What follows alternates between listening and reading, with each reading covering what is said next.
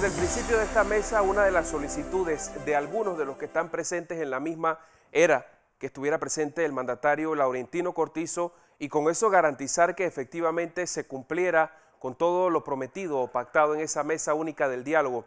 Pero ¿por qué no? Que todo esto se presentara de inmediato ante la Asamblea Nacional de Diputados, pues es allí donde se modifican, donde se proponen todas las leyes. Esta situación, esta inconformidad ha llevado a que algunos gremios a partir del miércoles regresen a las jornadas de protesta y manifestación, toda vez que hay varios puntos donde no hay consensos y otros donde sí los hubo, supuestamente no se está cumpliendo en el país. Vamos a conversar con el secretario general de AECHI, el profesor Camaño, que gusto que pueda acompañarnos. Usted está presente en esa mesa, mesa que está en receso en este momento.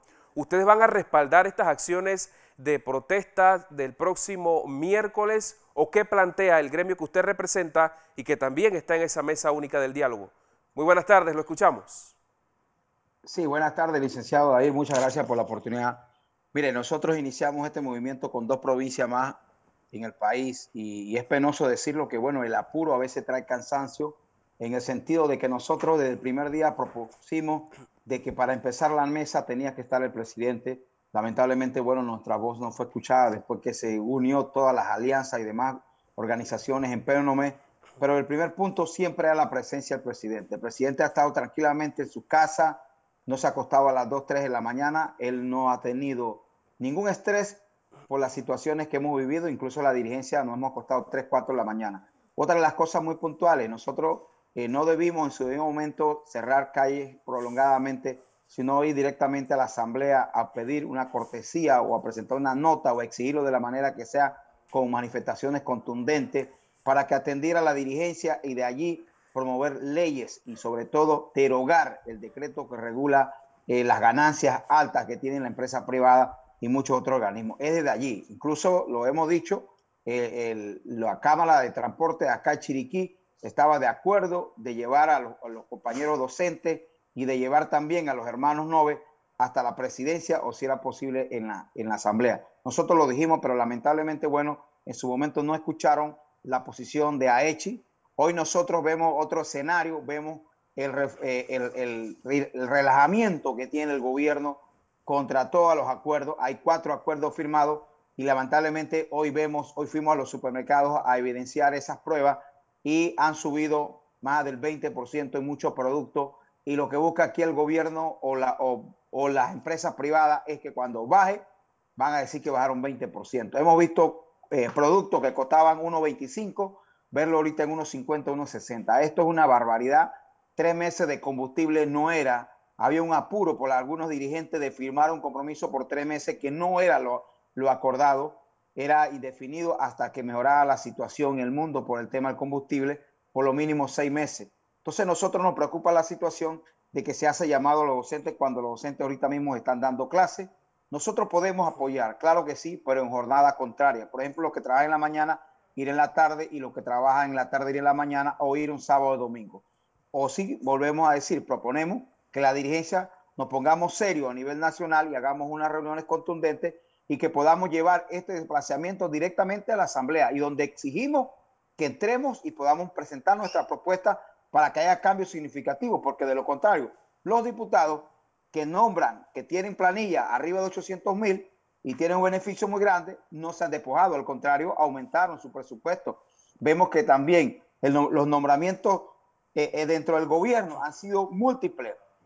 Entonces no hemos visto que había una reducción del Estado por sacrificarse para que se pueda reducir las cosas. No lo hemos visto. A la vez vemos que nosotros nos vamos a acostumbrar a los subsidios. Igual, si si recibimos subsidio del combustible, le estamos dando el dinero nuevo a la misma empresa que nos está vendiendo combustible. Aquí pagamos el Internet la data más cara, aquí pagamos la energía más cara de Centroamérica y cuidado que Latinoamérica. Aquí vendemos la energía más barata a otros países y aquí nosotros la pagamos más cara. El tema de la comida, oiga, el tema del combustible. Entonces, aquí lamentablemente no ha respondido el gobierno a los acuerdos, no ha querido comprometerse, no, no ha sido serio en esta posición.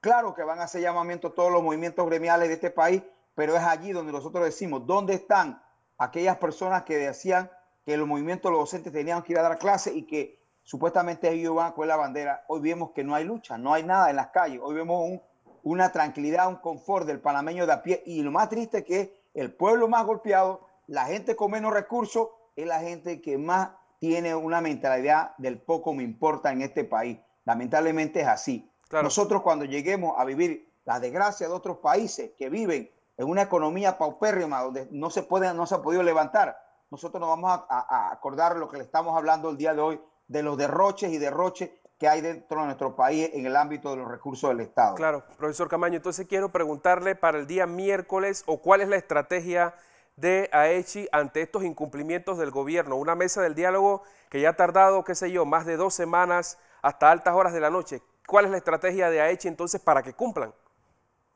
Bueno, nosotros vamos a hacer casualmente hoy una reunión de junta directiva y mañana, después de las 4 de la tarde, nos vamos a reunir con todas nuestras bases. Nuestras bases son muy fieles, gracias a Dios, la provincia de Chiriquí es muy activa en la lucha y vamos a consensuar las acciones donde nosotros como AECHI, como Asociación de Educadores, vamos a hacer nuestras acciones.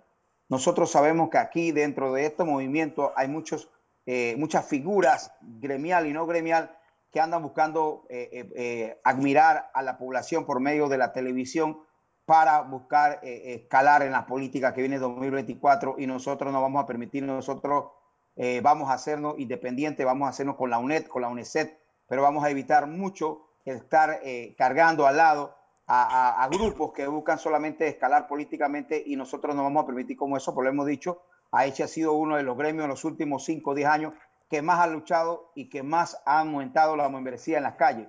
Y no vamos a permitir estas situaciones penosas que se dieron al inicio de esta lucha, donde muchos, como decía yo, muchos, muchos caciques y poco paisanos, mucha gente quiere tener la vocería, mucha gente se pelea por los espacios, pero a la hora de la hora no tiene a nadie en las calles. Debemos tener mucho cuidado con esto y nosotros como gremio vamos a hacer nuestro balance el día de hoy y las acciones que la vamos a hacer, la vamos a estar haciendo directamente con la Asociación de Educadores Chiricanos y directamente con nuestra base para evitar terceros que andan buscando protagonismo de movimientos políticos para el 2024.